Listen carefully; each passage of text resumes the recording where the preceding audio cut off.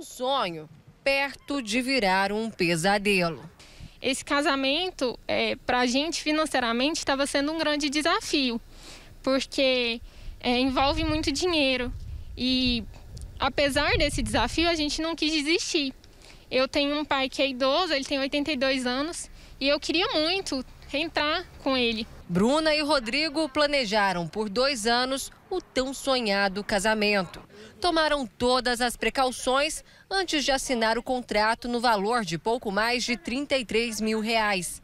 Pagaram espaço para festa, decoração, buffet, mesa de bolo e DJ. Nós procuramos várias postagens, entramos em contato com noivas que já fizeram casamento lá, todo mundo elogiou bastante. Nós tivemos todo esse cuidado. O casamento, que era para ter sido realizado em setembro do ano passado, foi adiado para maio de 2021 por causa da pandemia. E agora pode não acontecer, já que a dona da empresa contratada para a festa desapareceu. Segundo vizinhos, ela e a família se mudaram desse endereço no bairro Hilda, em Aparecida de Goiânia, há poucos dias.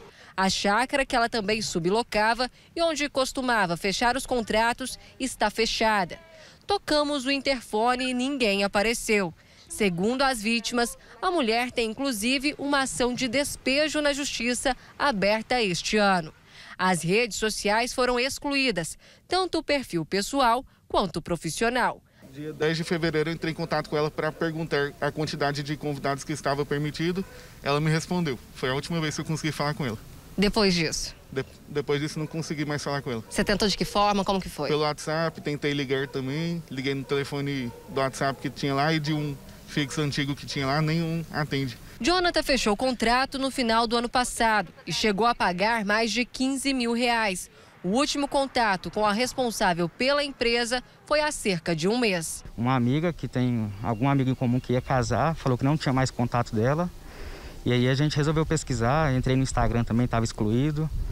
E aí mandei mensagem para ela, para o esposo. Inclusive um, tinha um contato do filho dela também, mandei mensagem falando que estava procurando ela e ninguém nos respondeu. Pelo menos 14 casais procuraram a polícia para registrar o boletim de ocorrências. Por conta da pandemia, esse BO foi feito de forma online.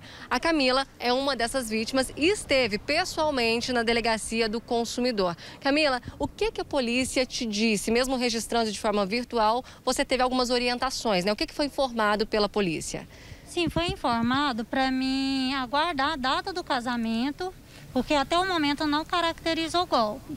Só que é, o que, que está ocorrendo?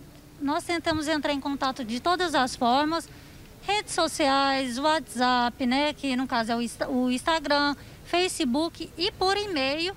E a responsável pelo espaço não dá nenhum retorno para a gente, não apareceu. O sentimento é de impotência, mas o desejo de todas essas pessoas é um só que a justiça seja feita. Nós esperamos a justiça mesmo, que ela seja encontrada e que pelo menos devolva o nosso dinheiro, mesmo com todos os transtornos que a gente passou, psicológico, abalado, mas só de devolver o dinheiro já vai resolver um pouco a situação.